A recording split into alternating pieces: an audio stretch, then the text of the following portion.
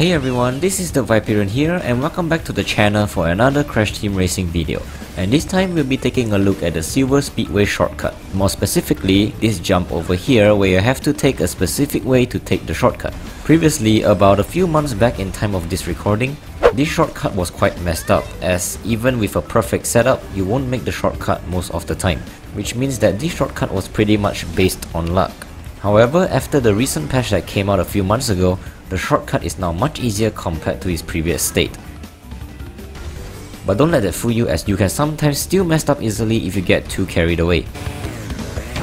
This is so much cancer that I can feel the tumors growing on my back. It still has that strict timing and positioning that you have to consider about. But don't worry as it's nothing as crazy hard as the Hot Air Skyway Cloud Shortcut or the Fence Shortcut at Blizzard Bluff. And with that out of the way, let's begin.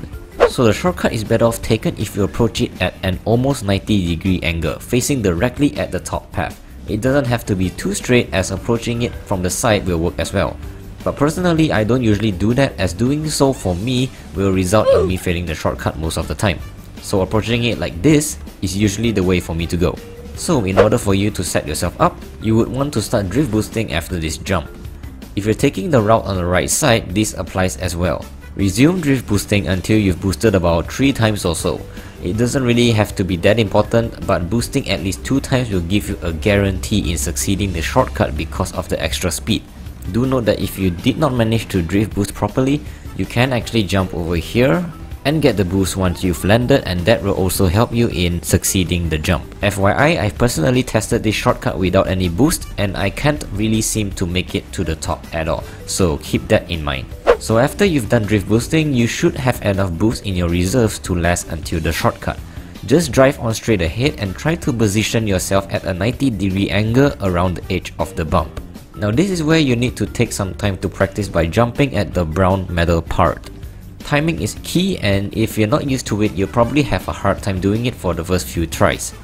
And the main reason for that is because you're already going so fast, plus with the added addition that your cart will be going up straight like so, you might jump a little bit too early or too late because your camera is kind of at an odd angle. So keep doing it a few times and you get the hang of it of the timing due to muscle memory. Also one thing to note is that you don't have to align yourself at a perfect 90 degree angle. Just make sure that you're directly looking at the shortcut but only jump in front of the shortcut if you know what I mean.